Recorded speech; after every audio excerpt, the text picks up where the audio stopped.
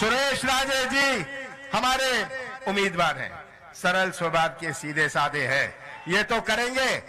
ये उसके जैसे नहीं है। क्या उसका नाम? जो मैं मैं क्या उसका नाम लूँ?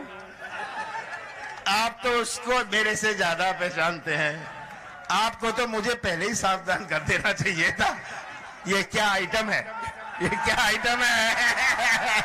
मैं उन शब्दों को दोहराना नहीं चाहता। ये केवल इमरती देवी जी का अपमान नहीं है। ये मध्य प्रदेश देश की बहन और बेटियों का अपमान है।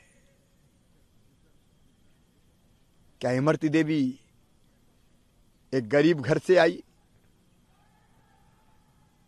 मजदूर से काम करते करते बड़े पद पर पहुँची। इसलिए उनका अपमान किया जाएगा। आपत्तिजनक शब्दों से मज़ाक उड़ाया जाएगा। और बाद में सभा में ठहाके लगाए जाएँगे। क्या यही सोच और स्वभाव है कांग्रेस का? मैडम सोनिया गांधी जी, जवाब आपको भी देना पड़ेगा। आज मध्य प्रदेश की एक बेटी का अपमान हुआ है। पूर्व मुख्यमंत्री जी, ये धरती वो धरती है, जहाँ द्रौपदी जी के अपमान पर महाभारत हो गया था। हम सब सह सकते हैं। लेकिन माँ बहन और बेटी का अपमान नहीं सह सकते। और इसलिए कल